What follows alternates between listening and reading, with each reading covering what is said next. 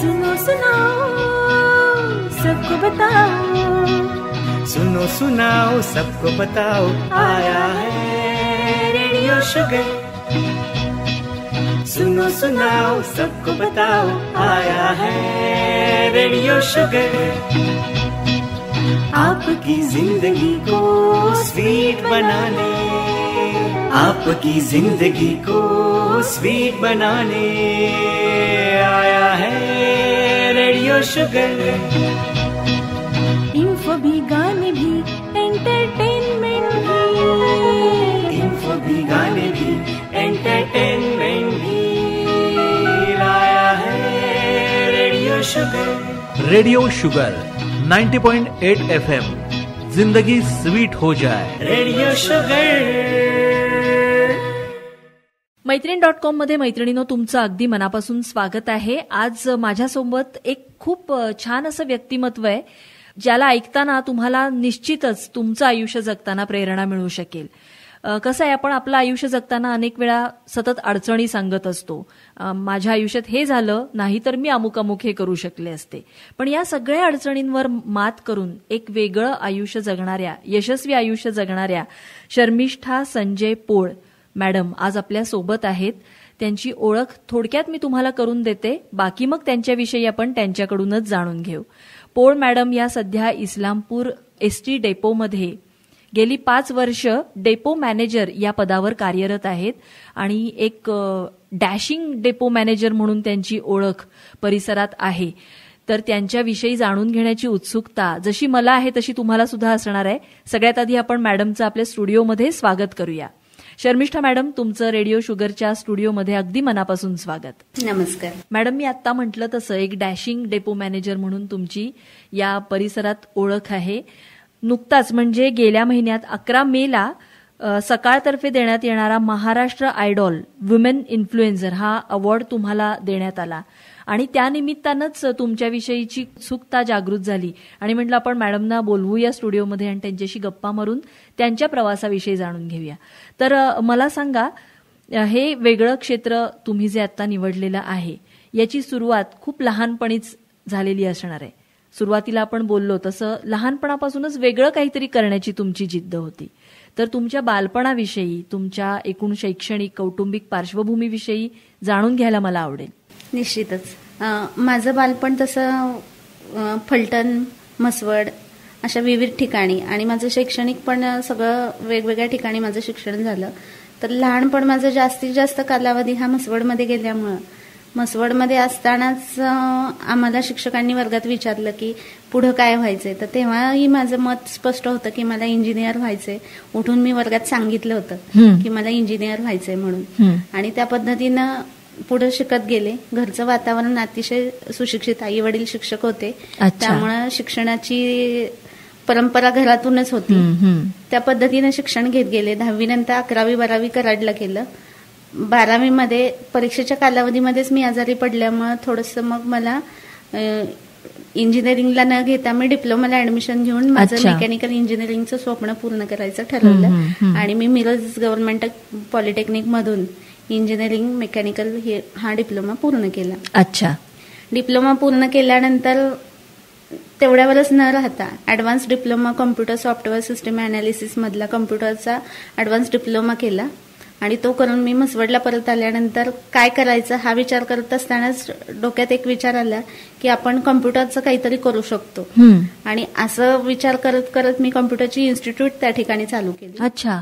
तुम्ही हे किती सालचं सांगताय? एकोणीसशे नव्याण्णवचं सांगते हे. अरे बापरे. एकोणीसशे नव्याण्णव ला आम्ही कम्प्युटरची इन्स्टिट्यूट सुरू केली. त्यावेळी जस्ट उदयाला आलेलं कम्प्युटर हे सॉफ्टवेअर होतं. अगदी बरोबर आहे. मी तेच तोच विचार करत होते. एकतर म्हसवड सारख्या ठिकाणी म्हणजे आपण त्याला ग्रामीण भाग म्हणू शकतो का? ग्रामीणच ग्रामीण. ग्रामीण भागच आहे तो. आणि अशा ठिकाणी एकोणीशे अठ्ठ्याण्णव नव्याण्णव साल जेव्हा कम्प्युटर्सची ओळख सुद्धा अजूनही लोकांना नुकती व्हायला लागली होती. सगळ्यांच्या मनात भीती होती. आज आपण पाहतो लहान मूल सुद्धा हातात मोबाईल घेऊन अत्यंत सहजपणे सगळं वापरतो. पण तो काळ असा होता जेव्हा कम्प्युटर्स विषयी लोकांच्या मध्ये निरक्षरता होती आणि त्याहून जास्त भीती पण होती. हो अगदी. त्या काळात तुम्ही इन्स्टिट्यूट सुरू केलीत. हो. खूपच छान. वेगळाच एकदम हा विचार तुमच्या मनात. कसा काय आला तुमच्या मनात? तेच सांगते की कसं झालं की ग्रामीण भागामध्ये काय करायचं. आपण दुसरीकडे सर्व्हिससाठी प्रयत्न करायचा आणि आपण कुणाचं तरी गुलामी करायची. सर्व्हिस. करायची म्हणजे थोडक्यात गुलामी करायची. कधी कधी तेही करावं लागतं. पण जर आपल्याला सहज शक्य असेल आणि घरातल्यांची म्हणजे आई वडिलांची याच्यामध्ये फार मोलाची साथ आहे. की त्यांनी लग्न व्हायच्या आधी मुलीला एखाद्या व्यवसाय करण्यासाठी अगदी. परवानगी दिली वा वा आणि ग्रामीण भागामध्ये व्यवसाय करायचा. आणि तो नव्यानं चालू झालेला अशा व्यवसायामध्ये उडी घ्यायची. की जो अजून सेट झालेला नाहीये समाजामध्ये तो सेट झालेला बरोबर, त्यावेळी. अगदी म्हणजे बरोबर. रिस्कच होती आणि ती रिस्क पत्करून आपण मुलीला परवानगी द्यायची हे माझ्या आई वडिलांनी माझ्या पाठीमागं उभं राहून खूप मोठं मला म्हणजे प्रोत्साहन दिलं. हो आणि त्याला इन्व्हेस्टमेंट पण असणार निश्चितच. कम्प्युटर्स तुम्हाला घ्यावे लागले असतील. त्यावेळी फार इन्व्हेस्टमेंट होती कारण आता ज्या वस्तू स्वस्त झाल्यात त्यावेळी त्याच्या किमती हो, पण खूप जास्त अगदी बरोबर. आणि सुरुवातीला दोन कम्प्युटर आणून इन्स्टिट्यूटला सुरुवात केली. पण त्याच्यानंतर चांगल्या मोठ्या प्रमाणामध्ये आम्ही इन्स्टिट्यूट सुरू केली बरेचसेच गावातले प्रतिष्ठीयश लोक. अगदी डॉक्टर इंजिनियर वकील पासून सगळे. गावातले लोक की ज्यांना कम्प्युटर आल्यानंतर कम्प्युटर शिकणं गरजेचं वाटत. होतं अशी लोक येऊन कम्प्युटरचे. छोटे मोठे कोर्सेस करून जात होते आमच्याकडून मग ते यश म्हसवड मधले यश पाहता आम्ही पिलीवला दुसरी इन्स्टिट्यूट त्याची शाखा चालू केली. त्याच्यानंतर तांदूळवाडी तिसरी दहीवडी आणि फलटण अशा पाच ठिकाणी शाखा त्यावेळी कार्यरत केल्या क्या बात आहे. मस्तच. म्हणजे या पाच वेगवेगळ्या गावांमध्ये तुम्ही हे सगळं सुरू केलं हे सगळं मॅनेज तुम्ही कसं केलं कारण प्रत्येक ठिकाणी प्रशिक्षक नेमला पाहिजे. पुन्हा त्याचं सगळं हार्डवेअर मेंटेनन्स बघितला पाहिजे. सगळं नीट चालू आहे ना? काही बंद पडलं दुरुस्त करा. पुन्हा ऍडमिशन्स घेणं त्याचं सगळं हिशोब ठेवणं या सगळ्या गोष्टी तुम्ही कशा मॅनेज केल्या? काय केलं? प्रत्येक ठिकाणी फॅकल्टी नेमली होती. आणि फॅकल्टी प्रॅक्टिकल्स घ्यायचे. आणि मी फक्त जाऊन लेक्चर्स घ्यायचे. आणि हे करत करत मी माझ्या बहीण आणि भावाला दोघांना पण मी त्याच्यामध्ये तयार केलं अच्छा म्हणजे बॅकअप करण्यासाठी. कारण हार्डवेअरचं आम्ही स्वतःच त्यावेळी करत होतो. म्हणजे छोटी मोठी दुरुस्ती काही असेल तर हार्डवेअर पण सॉफ्टवेअर सोबत करत होतो. त्यामुळे ते करत करत मला बहीण आणि भावानी दोघांनी पण चांगली साथ दिली. आणि तिघांनी मिळून आम्ही ह्या पाच ठिकाणच्या इन्स्टिट्यूट अतिशय चांगल्या प्रकारे चालू ठेवल्या आणि त्याला यशही त्या काळात खूप मिळालं वा. आणि साधारण किती वर्ष तुम्ही ही इन्स्टिट्यूट चालवली?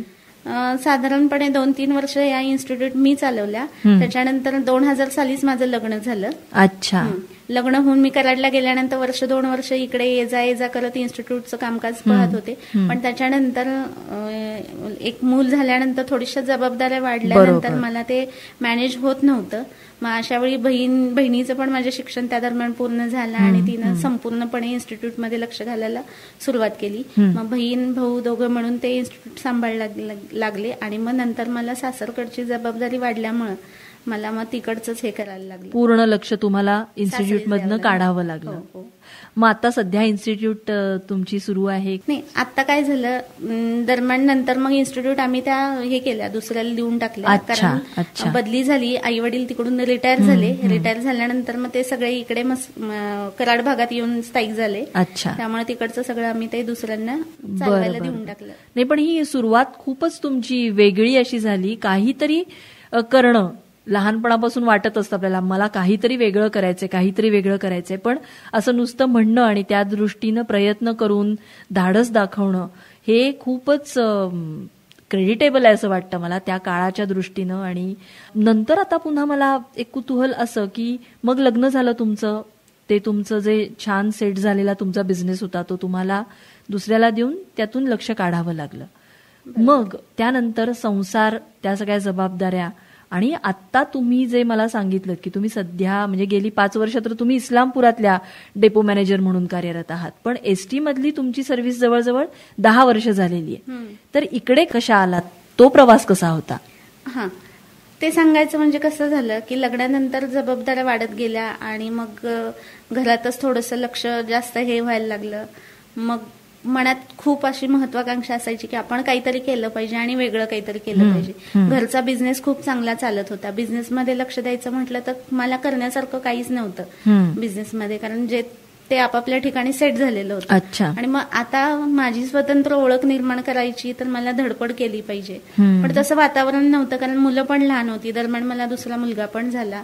आणि दोन मुलांचं संगोपन करायचं आणि या सगळ्या गोष्टी बाहेर पडायचं हे शक्य नव्हतं म्हणून मी त्या काळात घरामध्ये शिकवणी घ्यायला सुरुवात केली साधारण कधी म्हणजे पहिल्या मुलीनंतर हा पहिल्या मुलीनंतर दुसरा मुलगा झाल्यानंतर पण आणि हा. मुलगा दीड वर्षाचा झाल्यानंतर अगदी आता मला वाटायला लागलं की आता आपण बाहेर पडायला पाहिजे हा. आणि मग मी स्पर्धा परीक्षा द्यायला सुरुवात केली हम्म, हम्म, हम्म. बऱ्याचशा स्पर्धा परीक्षा मी पास झाले पण कधी मुलांचा आजारपण कधी अनेक अडचणी अशा हो. यायच्या आणि मी पुढच्या परीक्षेला जाऊ शकायचे नाही कधी अच्छा. कागदपत्रांचं काढलेले नसायचे सगळे कागदपत्र लागणारे असतील ते. अशा बऱ्याचशाच अडचणी यायच्या आणि माझं ते दोन वर्ष असंच हे झालं पेंडिंग पडत गेलं.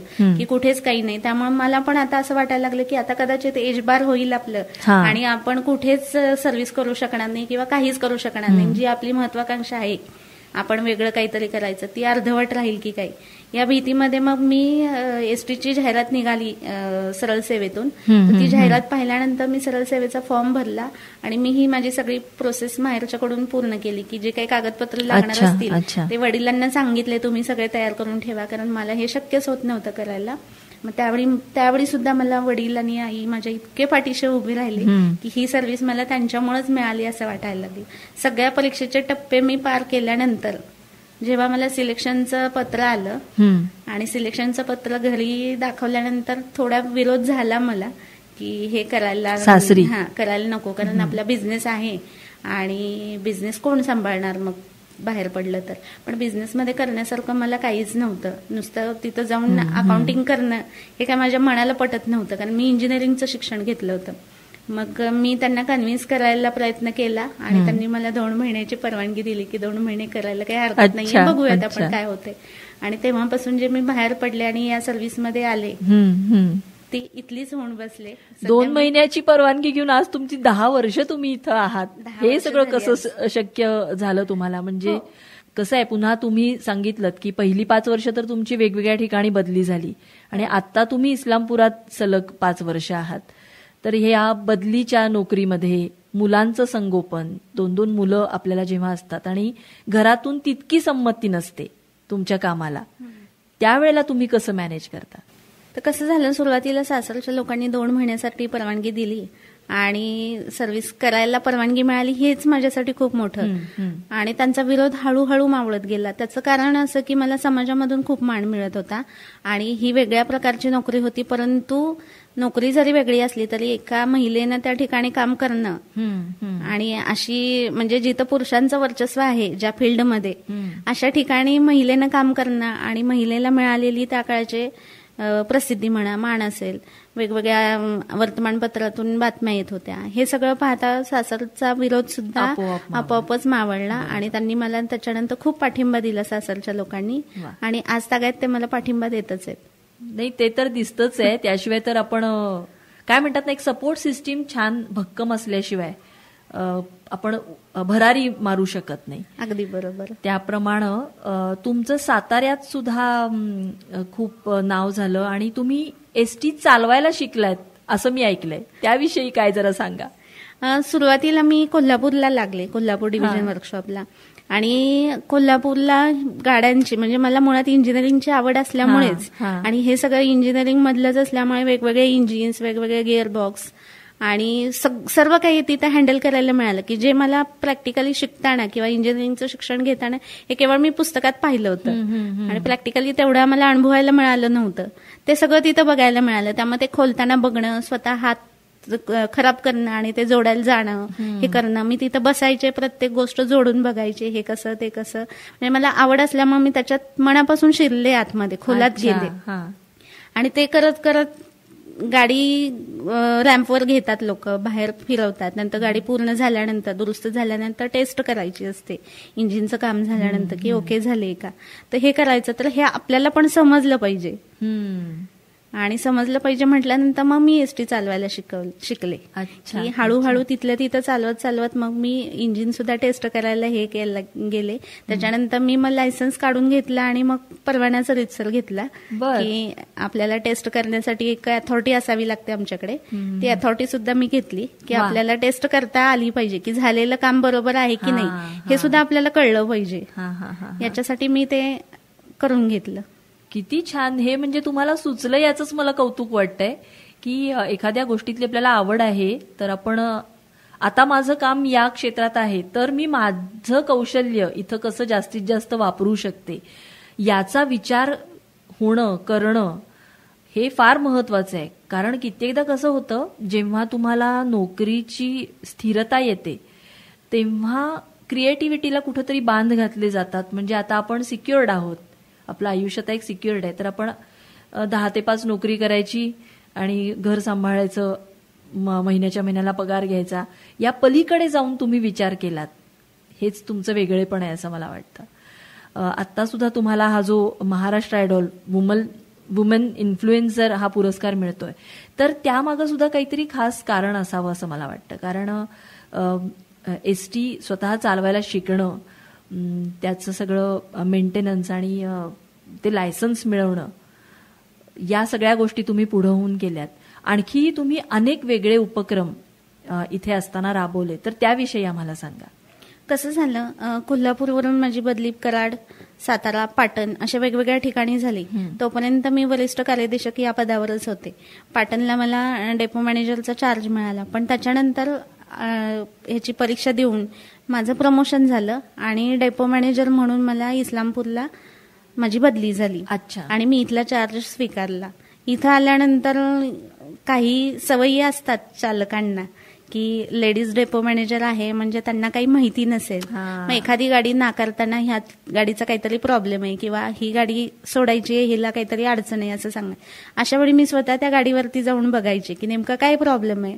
आणि नाहीये. मग त्यामुळं हे एकदा दोनदा झालं. अगदी पेपरला पण छापून आलं होतं. की मी एक गाडी चालवून बघितली जी चालकाने नाकारली होती. इथं नाव सांगत नाही मी.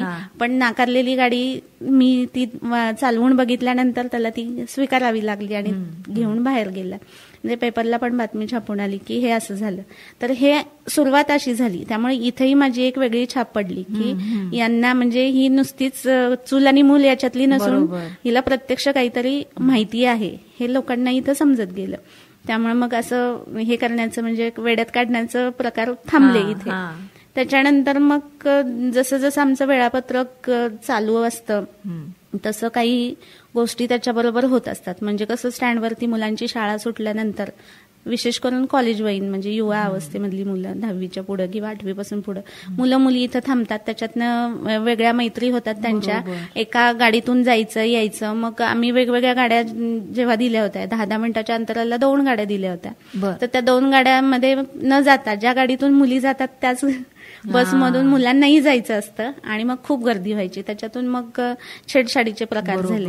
मग या प्रकारांना आळा बस- बसवण्यासाठी खूप विचार केला आणि माझ्या डोक्यात एक कल्पना आली. मग मी त्या गावातल्या सरपंचांना वगैरे बोलवून घेतलं आणि गावकऱ्यांच्या मदतीनं त्यांनाही सांगितलं की अशी काही उपाययोजना करता येईल का आपल्याला? की आपण मुलींसाठी वेगळी आणि मुलांसाठी वेगळी अशी बस जर केली तर त्यांना ती ऑलरेडी माझ्या दोन बस त्या ठिकाणी होत्याच. मग फक्त करताना आम्ही एक मुलींसाठी केली आणि एक मुलांसाठी केली. मुलींची बस अगोदर सोडली मुलांची नंतर सोडली. आणि वाटेगावला आम्ही तसा पहिला प्रयोग केला की मुलींची वेगळी बस आणि मुलांची वेगळी. त्याही माझ्या ह्याला फार चांगलं म्हणजे प्रसिद्धी मिळाली. अगदी सगळ्या वर्तमानपत्रांनी ही बातमी छापून आणली की आणि कौतुकही केलं सर्व समाजानं. ही सुरुवातीची हे झालं. त्याच्यानंतर मसुचेवाडीला ते एक प्रकरण झालं होतं मध्यंतरी. मुलीचे छेडछाडीचंच प्रकरण झालं होतं. त्या केसमध्ये सुद्धा मग हे लक्षात आलं की इथं ग्रामीण भाग जास्त आहे आणि ग्रामीण भागातून येणाऱ्या मुलींची संख्या जास्त आहे. आणि त्यामुळे हे असे प्रकार होत असतात. मग निर्भया पथक त्या दरम्यान शासनानं निर्भया पथकाची निर्मिती केली होती. त्या पथकाशी कंटिन्युअस मी कॉन्टॅक्टमध्ये असायचे. आणि तेही स्टँडवरती येऊन बसायचे. आणि स्टँडवर होणारे सगळे असले प्रकार थांबले. कारण कंटिन्युअस त्यांची गस्त असायची ते येऊन बसायचे. त्यांना बसायला मी माझ्या बाहेरच्या केबिनमध्ये जागा पण दिली की तुम्ही इथे बसा आणि हे करा. त्यामुळे ते प्रकार कमी झाले. त्याच्यानंतर मसुचेवाडीला होणाऱ्या तिकडे सुद्धा मग त्या दृष्टीनं काय करता येईल का? त्या मुली कशा लवकर घरी जातील? मग जोपर्यंत मुली स्टँडवरच्या सगळ्या घरी जात नाहीत तोपर्यंत मी कधीही स्टँड सोडलं नाही. कुठेही जायचं असलं तर पहिलं मुली गेल्यात का? स्टँडवर. एकही मुलगी थांबणार नाही याची काळजी घ्यायची. मुलं थांबू देत काही फरक पडत नाही. पण मुलगी घरी गेल्याशिवाय आपण स्टँड सोडायचं नाही. हा एक मी तेव्हा हेच राबवला. आणि मग तशा पद्धतीने आमचं वेळापत्रक पण बसवून घेतलं आणि शक्यतो सगळ्या मुली लवकर घरी कशा जातील अंधाराच्या अगोदर त्या पद्धतीने बसेसचं नियोजन करून दिलं. त्याच्यानंतर चालक वाहकांना पिण्याच्या पाण्याचा पण प्रश्न खूप सतावत होता की जे पाणी आमच्या इथं होतं ते चांगलं नव्हतं आणि त्यामुळे लोकांना त्रास व्हायला लागले. मध्यंतरी कावळीची साथ वगैरे पण आली होती. मग याच्यावर काहीतरी तोडगा काढणं गरजेचं होतं. तेव्हाही मग तसंच केलं की मग एसकडे एवढे फंड्स अवेलेबल नव्हते की एस टी काही करू शकेल म्हणून. म्हणून मग इथले उद्योजक सर्जेराव यादव. त्यांची गाठ घेतली. आणि त्यांना गळ घातली की आपण काय करू शकतो का समाजासाठी? त्यांनी अतिशय मला पॉझिटिव्ह असा रिस्पॉन्स दिला आणि ते समाजासाठी फार नेहमीच करत असतात आणि अग्रेसर असतात त्याच्यामध्ये. त्यांनी छान रिस्पॉन्स दिला आणि आपण करूया म्हटले. त्याच्यातून मग ती फिल्टरची योजना अंमलात आणली आणि एक छान फिल्टरचं युनिट आमच्या स्टँडवरती सुरू झालं आणि त्याला नगरपालिकेचं कनेक्शन देऊन स्वच्छ पाणी आणि फिल्टर पाणी आम्ही. प्रवाशांना आणि आमच्या कर्मचाऱ्यांना उपलब्ध करून दिलं. मस्त. खूपच वेगळी आणि छान कामं तुम्ही इथे केलीत आणि आम्हाला कौतुक म्हणजे एक समाजातला एक घटक म्हणून कौतुक महिला वाहक महिला चालक इथं तर महिला डेपो मॅनेजर आणि त्या पण नुसत्याच नावाच्या नाही तर वेगळं काहीतरी करून दाखवून स्वतःचा वेगळा ठसा उमटवणाऱ्या अशा डेपो मॅनेजर म्हणून तुम्ही खूप अल्पावधीत स्वतःची ओळख परिसरात निर्माण केली आहे आता एस टी म्हटलं की एस टी एक मिनिट अजून मी त्याच्यामध्ये ऍड असं करते की आमच्या इथे महिला वाहकांच्या विश्रांतीगृहामधल्या सोयी सुविधा असतील किंवा चालक वाहकांच्या सुद्धा सोयी सुविधा असतील त्यांच्याकडे मी अगदी जातीनं लक्ष देते. त्यांच्यासाठी वेगवेगळे उपक्रम म्हणजे आरोग्य तपासणी शिबिर नेत्र तपासणी शिबिर हे असं अरेंज करून देणं. त्यांना उपयुक्त माहिती असेल तर वेगवेगळे लेक्चरर हे उपलब्ध करून देऊन त्यांना त्यांचं प्रबोधन कसं करता येईल. म्हणजे मानसिकता थोडीशी त्यांची कसं होतं चालक वाहकांचं काम फार ह्याचं असतंय. अगदी धावपळीचं असतंय. हो. आणि त्यांच्या मनावरती कायम ताण असतो. तो ताण कमी करण्यासाठी काही प्रयत्न करता येतील का? असे काही उपक्रम पण राबवले आगारामध्ये. आणि वातावरण चांगलं राहील. जे चांगलं काम करतील त्यांचं कौतुक केलं अगदी त्यांचे फ्लेक्स बनवून आम्ही स्टँडवरती लावायचं. आणि जे कमी येणार आहे त्यांचीही नावं काढायचं. त्यांचंही ना- लावायचं. म्हणजे ज्यांचं नाव आलंय चांगल्यामध्ये त्यांना प्रेरणा निर्माण व्हायची त्यांना हो, की आपणही आपलं पुढच्या वेळी आलं पाहिजे ज्याचं आलेलं नाहीये असं. त्यांना वाटायचं. ह्याच्यासाठी असे उपक्रम वेगवेगळे राबवले की जेणेकरून वातावरण पॉझिटिव्ह राहावं. आणि जास्तीत जास्त चालक वाहनांनी काम करून उत्पन्न कसं आगाराचं वाढवता येईल. त्याचा प्रयत्न सातत्यानं आम्ही तो प्रयत्न करत राहिलो आजपर्यंत करतो आहोत. वा खूपच छान. सध्या स्पर्धा आहे एस टीला इतर ट्रान्सपोर्टेशनची त्या सगळ्यात तुम्ही टिकून राहण्यासाठी काय वेगळे प्रयत्न करताय का? आता काय होतंय की स्टँडवरती येऊन जे अवैध प्रवासी वाहतूक करतात हो. अशी लोक स्टँडवरती येतात आणि तिथून प्रवासी घेऊन जातात. त्याच्यासाठी आम्ही मग मध्यंतरी पार्किंग नो पार्किंग सगळं स्टँडमध्ये करून पोलिसांच्या मदतीनं पार्किंगच्या पावत्या हे करायला लागले की जेणेकरून त्यांची गाडी आमच्या स्टँडच्या आवारात कुठं येणार नाही. आणि त्यांच्यावर लक्ष ठेवणं त्याच्यासाठी सीसीटीव्ही शासनाने आम्हाला सगळ्याच आगारांना मंजूर केली केलेले होते. ते सीसीटीव्ही बसवल्यामुळे फारच आम्हाला तो फायदा झालेला आहे की त्यामुळे लगेच आम्हाला एखादा एजंट आत आला तर लगेच लक्षात येतं. मग त्यांच्यावर वेळीच निर्बंध करणं पोलिसांना त्यांची नावं कळवणं त्यांचे नंबर अगदी म्हणजे आम्ही जीप गाड्या ज्या असतात काळ्या पिवळ्या त्याचे नंबर सुद्धा आम्ही त्यांना देतो. आणि मग पोलीस त्याप्रमाणे कारवाई करतात. पोलिसांनी पण खूप सहकार्य केलं. आणि म्हणजे एकंदरीत सगळ्या लोकांनी सहकार्य केलं. त्याच्यामध्ये एक सांगायचं राहिलं मध्यंतरी आमच्या इथे संप झाला. फार मोठ्या प्रमाणामध्ये संप झाला होता. अगदी सहा तारखेला सहा नोव्हेंबर आणि सात नोव्हेंबर आपली भाऊबीज असते त्या दिवशीच कर्मचाऱ्यांनी संप अघोषित असा संप पुकारला. आणि ऑपरेशन बऱ्यापैकी ठप्प होत होत चाललं होतं आणि सहाला अर्धवट ऑपरेशन बंद झालं आणि सातला तर बऱ्यापैकी बंदच झालं. संपूर्ण महाराष्ट्रामध्ये एका वेळी हे सगळं चालू होतं. आणि सगळे प्रवासी बसेस आहेत म्हणून स्टँडवर आलेले आणि त्यावेळची जी परिस्थिती होती ती अतिशय अभूतपूर्व अशी परिस्थिती निर्माण झाली होती कारण प्रवासी होते ते लहान मुलं हो. महिला घरातल्या त्यांच्या. सहित अगदी सामानानिशी सगळे स्टँडवर आलेले आणि आता या प्रवाशांची सोय करणं हे आमच्या पुढे फार मोठं असं संकट होतं हं. हं की कसं आता यांची सोय करायची कारण अचानक गाड्या तर त्या कालावधीमध्ये सुद्धा सहा आणि सातला इतर ठिकाणी डेपो बंद झाले होते शंभर टक्के तरी आम्ही थोडीफार वाहतूक करून जेवढे प्रवासी आमच्या स्टँडवर आहेत ते जास्तीत जास्त स्टँडमधून सोयीस्कर ठिकाणी म्हणजे काही सातारा पुणे अशा ठिकाणी. फार लांब सोडत म्हणजे मुंबईला जाणार असेल तर त्याला तिकडे जाणं सोडणं शक्यच शक्य नव्हतं जेवढं शक्य होईल तेवढ्या आम्ही त्यावेळी गाड्या अवेलेबल करून त्यांना थोड्या ह्याच्यामध्ये आम्ही ते प्रवासी घालवले आणि आठ तारखेपासून पूर्ण डेपो बंद झाला. डेपो बंद झाला पण आम्हाला एवढं टेन्शन होतं की आता डेपो बंद आता उत्पन्नाचं काय? पण रोजचं सरासरी उत्पन्न आमचं आठ लाखाच्या आसपास होतं. आणि हे आठ लाख उत्पन्न अचानक बंद झालं. बंद झालं पुढं काय? बरोबर. किती दिवस बंद ठेवणार ना? एक दिवस दोन दिवस तीन दिवस. म्हणता म्हणता आठ नऊ दिवस झाले तरीही काही हालचाल होईना. कोंडी फोडायचा प्रयत्न करतोय लोकांच्या घरी जातोय त्यांना बोलवून घेतोय फोन करतोय. पण ही कोंडी काही केल्या फुटत नव्हती. आणि याच्यामध्ये राजकीय पण वळण मिळालं होतं. म्हणजे आपले विधानसभा सदस्य आणि आमदार सदाभाऊ खोत हे धरणं देऊन बसले होते आपल्या डेपोमध्ये. तो प्रसंग ह्या सगळ्या विचित्र प्रसंगातून बाहेर पडण्यासाठी काय मार्ग काढावा हा विचार करत असताना खूप चालक वाहकांशी बोलले पर्सनली बोलले. सगळ्यांची मानसिकता होत- मनामध्ये की करायचंय. पण सगळीकडे बंद आहे कोणी सुरुवात करायची. कुणी ही खोंडी फोडायची. असं असतानाच महाराष्ट्रातून पहिली बस आम्ही वाटेगावलाच काढली. पहिली बस आमची वाटेगावला निघाली. पण बस मी जेव्हा काढली तेव्हा सुद्धा मला इतके फोन आले की तुमची बस आम्ही फोडणार बाहेर बस कशी काढताय बघू. तर ही बस काढली आणि मला माहिती होतं की शंभर टक्के हे गाडीला काहीतरी आपल्या होणार आहे. म्हणून मी अगदी तयारीतच गेटवर बसले होते की काही झालं की पटकन लगेच जायचं म्हणून पाठीमागं. तसंच गाडी वाटेगावमध्ये पोचली. वाटेगावमध्ये अज्ञात इस्मानी येऊन ती गाडी फोडायचा प्रयत्न केला फोडली. पुढच्या काचा आणि साईडच्या काचा प्रवाशी खाली उतरवून गाडी फोडली. पळत मी तिथं गेले पोलिसांना सांगितलं. त्यावेळचे ते व्हिडिओ मिळाले त्याच्यातून तो आरोपी मिळाला पण पोलिसांना. नंतर ते झालं. पण तेवढ्या प्रसंगातून घाबरून न जाता किंवा न थांबता परत ताकारी मार्गावर त्याच दिवशी दुसरी गाडी सोडली. वा. मग हे माझे प्रयत्न वरिष्ठांनी पण त्याची दखल घेतली की प्रयत्न करतायत म्हटल्यानंतर मला वेगळ्या प्रकारची राजकीय मदत पुरवून पुरवली. बरं. अगदी मंत्री महोदयांनी पण याची दखल घेतली.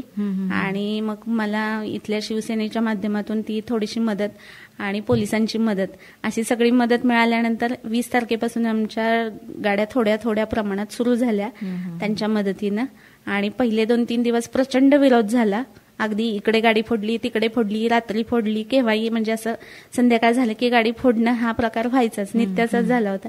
अगदी पोलिसांनी पण कधी कधी त्यांना कंटाळ वाटायचं की मॅडम आता थांबा. हा हा. प्रवाशांचा हाल कुणाला लागलं तर काय झालं हो, तर. हो. पण म्हटलं आपण थांबलो तर एसटीचं चाक थांबेल आणि एसटी ही सामान्याची रोजीरोटी आहे. ही थांबली की सामान्य प्रवाशांचं पण फार मोठं नुकसान होईल. हा विचार करून थांबायचं नाही काहीही होऊ देत. कितीही गाड्या फोडू देत कितीही काही करू देत आपण तिथपर्यंत पोहोचायचं सगळी मदत द्यायची त्यांना पण आता थांबायचं नाही. असा निर्धार करून त्यावेळी गाड्या सुरू केल्या आमच्या पाठोपाठ मग इतर पण आगारामध्ये हळूहळू सुरुवात झाली. आणि ती कोंडी बऱ्यापैकी फुटली त्यावेळी. वा वा वा. खूपच उल्लेखनीय असं काम आहे हे. अशा प्रतिकूल परिस्थितीत निर्णय घेण्याची जेव्हा वेळ येते तेव्हाच खरा कस लागतो. आणि त्यावेळेला तुम्ही अगदी शंभर टक्के खऱ्या उतरलात असं आपण म्हटलं तरी ते वावगं ठरणार नाही. खूप प्रेरणादायी असा तुमचा सगळा हा प्रवास आहे. हॅपनिंग आहे सगळी तुमची जी नोकरीची कारकीर्द आहे ही. आणि यातून निश्चितच ज्या महिला आहेत आपल्या मैत्रिणी आपला हा कार्यक्रम ऐकणाऱ्या त्यांना प्रेरणा मिळेल. कारण सामान्य आयुष्य जगत असताना अनेक प्रसंग आपल्या आयुष्यात असे येत असतात. जेव्हा आपल्याला उभं राहून काहीतरी निर्णय घेण्याची वेळ येते. आणि महिला म्हणून विशेषत जेव्हा वेगळ्या नजरेनं किंवा वेगळ्या अपेक्षेनं बघितलं जातं दोन्हीही पॉझिटिव्ह किंवा निगेटिव्ह तेव्हा तुमची खरी तुमचा खरा कस लागतो. आणि तेव्हा तुम्ही जर सिद्ध करू शकलात स्वतःला तर त्याहून चांगलं काही नसेल. त्यामुळंच आज आपल्या या ज्या गप्पा आहेत या आपल्या मैत्रिणींसाठी निश्चितच उपयोगी ठरणार आहेत प्रेरणादायी ठरणार आहेत. तुम्ही आज इथे येऊन खूप छान गप्पा आमच्याशी मारल्यात आणि तुमचा सगळा हा प्रवास सांगितलात. त्यासाठी मी तुमचे अगदी मनापासून आभार मानते. पण शेवट करण्यापूर्वी मला असं समजलेलं आहे की तुम्ही खूप छान कविता सुद्धा करता. तर या सगळ्या व्यापातून काय म्हणूया आपण याला? की तसं वृक्ष दिनक्रम असताना सुद्धा कवितेसारखा हळवा विषय कसं काय हाताळावा असा वाटला? कवितेबद्दल सांगायचं म्हटलं तर अगदी लहानपणापासूनच. म्हणजे पहिली कविता मी अकरावीमध्ये असताना केलेली की जी कॉलेजच्या मासिकामध्ये छापून आली होती. त्याच्यानंतर दरवर्षीच्या कॉलेजच्या मासिकांसाठी म्हणून मी कविता लिहायचे. आणि ही आपण छापायची. असं करत याला डिप्लोमाच्या पण तिन्ही वर्षाला म्हणजे तिन्ही मासिकामधून कविता छापून यायच्या. तेवढ्या पुरत्याच केल्या. त्याच्यानंतर मग लग्न आणि या जबाबदारीमध्ये थोडस माझा छंद मागे पडला. पण मला प्रचंड आवड कवितांची. तशी कलेची मला आवड पहिल्यापासूनच आहे. कविता असू दे नृत्य असू दे चित्रकला असू दे. असे वेगवेगळे छंद आहेत की जे स्वतःला मनाला आपल्याला छान वाटतं ते केल्यानंतर. की आपण हे सगळं विसरून जातो. सगळा ताणतणाव आपला बाहेर निघतो. आपल्याला काहीतरी छंद असेल तर. मग तसं मोकळा वेळ मिळेल तसं मी या छंदाकडे वळते. आणि जसा वेळ असेल त्या प्रमाणात मग हळूहळू कुठल्याही विषयावर मग आपल्याला शब्द सुचतात. आणि ते शब्द फक्त कविता रूपी मांडत गेलो आपण यमक वगैरे हे काही मी बघत नाही. किंवा कवितेची कुठली चाल आहे किंवा काय हे नाही. पण ती आपल्याला ऐकायला कानाला बरी वाटली पाहिजे. ती कविता. बरोबर. खूप छान सोपी व्याख्या सांगितली तुम्ही. आणि हे खूप महत्वाचं आहे. आपला छंदच आपल्याला आपल्या आयुष्यात तारून नेत असतो. जेव्हा तुम्ही खूप आव्हानात्मक तुमचं जगणं असतं एका बाजूला तेव्हा त्यातून रिलीफ म्हणून आपले छंद आपल्याला उपयोगी पडतात. आणि हा खूप छान छंद तुम्ही जोपासताय. एखादी कविता ऐकवू शकाल? नक्कीच मॅडम. मी माझी माझी मराठी ही कविता तुम्हाला ऐकून दाखवते. खरं तर ही कविता मी मराठी भाषा दिना दिवशी लिहिली आहे एकदम अचानक माझ्या मनात आलं की आपल्या मराठीवरती कधीतरी आपण कविता केली पाहिजे. आणि मग आपसुकच ओळी सुचत गेल्या. मी मराठी माझी भाषा मराठी. कनाकनाने सजू मराठी आपुली बोलतो मराठी पाहतो मराठी. मातृबोली असे माझी मराठी. बोलतो मराठी पाहतो मराठी मातृबोली असे माझी मराठी. माझ्या मराठीची महती अगाध. नाना तऱ्हेचे रंग बोलते प्रगाढ. काणा मात्रा उकार कित्येक प्रकार. माझ्या मराठीत सजले नाना आकार. काणा मात्रा उकार कित्येक प्रकार. माझ्या मराठीत सजले नाना आकार. माझ्या मराठीची दिवाळी मराठी. पणतीची अण दिव्याची रोषणाई. संक्रांतीचा मेवा अण चैत्र पाडवा. मराठीमध्ये भरला विपुल गोडवा. संक्रांतीचा मेवा अण चैत्र पाडवा. मराठीमध्ये भरला विपुल गोडवा. होळीचा रंग अण मराठी ती तुका. भासे सुगंधित अक्षय तृतीया. गौरी आगमन अण गणेश पूजा. मराठीचा हा सांस्कृतिक ठेवा. गौरी आगमन अण गणेश पूजा. मराठीचा हा सांस्कृतिक ठेवा. नऊ रंगाची ही नऊ दुर्गा माता. शस्त्रपूजन करतो दसरा. अभिमान वाटे आज मजला मी मराठी भाषिक असल्याचा अभिमान वाटे आज मजला मी मराठी भाषिक असल्याचा मी मराठी भाषिक असल्याचा. खूप छान वाटलं आज मॅडम तुम्ही इथं आलात आणि आमच्याशी गप्पा मारल्यात. पुन्हा एकदा मी तुमचे आभार मानते. धन्यवाद. धन्यवाद. घरात रानात कानात मनात आपल्या गावा गावात घरात रानात कानात मनात आपल्या गावा गावात radio sugar radio sugar radio sugar radio sugar. वाजतोय जोरात ऐकणार खुशीत गाण्याच्या ताला ताला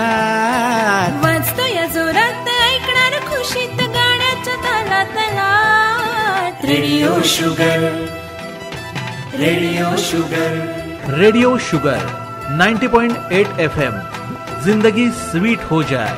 Radio sugar radio sugar.